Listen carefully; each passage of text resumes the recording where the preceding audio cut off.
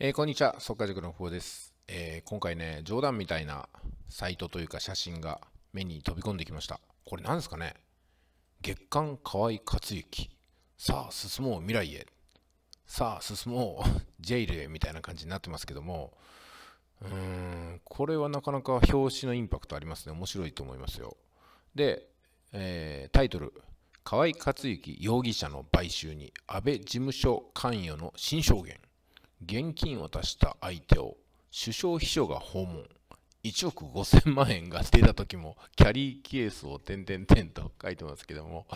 これなんか、あれですね。うん、いやまあ、イースドアのなネオヒルズ族じゃないですけども、札束で買い物をするような図がね、テレビで出てましたけども、あれをちょっと思い出してしまいました。えー、あれとは全然違う種類のことなんですけども、今回はね、こう、まあ、もうめんどくさいから20年ぐらいの実験食らしてほしいなと私は完全にメディアにあの踊らされて思ってるわけなんですけども。まあでも今回はねあのお金を受け取った人が次々と証言してますんでね、うん、私も広島にいるんであああの人まで証言しちゃったんだとかね。あとお金を受け取ったとされる人の名前の一覧が新聞出てたんですけど私何回も会ってる人とかねすごくあのまあ、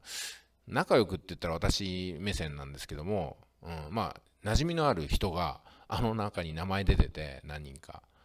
ほんとふざけんなよと思いましてね。まあ今はもう会う機会はないと思いますけども、多分会ったらね、俺にもくれって言いそうですね。そんなこと言っちゃいけないんですけども。いや、本当だからね、政治家って怖いですね。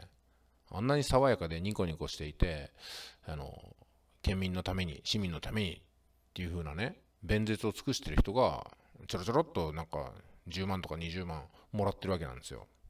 いや、10万、20万でね、なんか、そんなことするんだったら、俺がやるよみたいな感じなんですけども、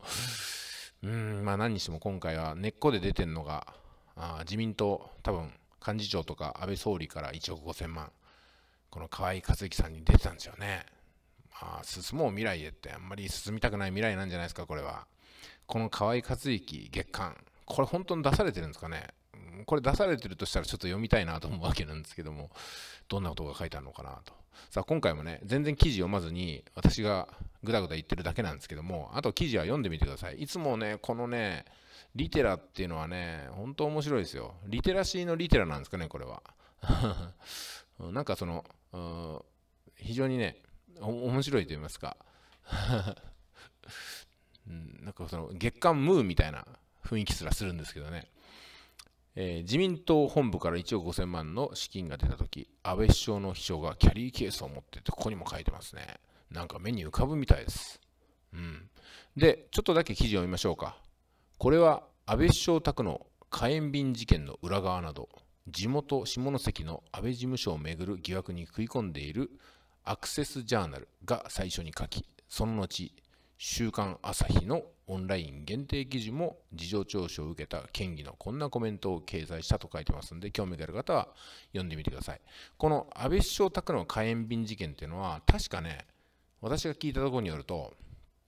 あの安倍総理がまだ議員時代に自分の票を囲うために対立候補の家にもしくは対立候補に対して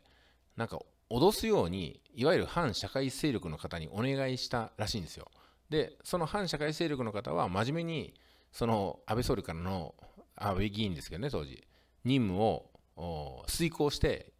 こうやら、やらかしたんですよね。もうやっつけたわけなんですよ、対立候補。で、ギャラをもらいに行こうと思ったら、そのギャラを随分ね、値切られたそうなんですよ。で、それに怒りを感じた反社会勢力の方は、火炎瓶をね、ダーンと投げて、事件になったみたいなことがあったそうなんですけども、まあ、本当かどうか分かりませんけどね、あの、YouTube などを見たら結構出てくるんで、そんなことあったんかなと思ったんですけどね、この、ね、総理になろうとするような人が反社会勢力に対立候補を暴力で封じ込めるみたいなことをして、で、今回はお金で封じ込めるみたいなね、まさにね、もうナイフか金かみたいな、うんと反社会勢力っていうのは誰のことなのか分かんなくなってきますね、これはね。まあ、とはいってもね、安倍総理のおかげで大日本帝国が規律よく守られています。ありがとう、安倍総理。安倍首相、ありがとう。万歳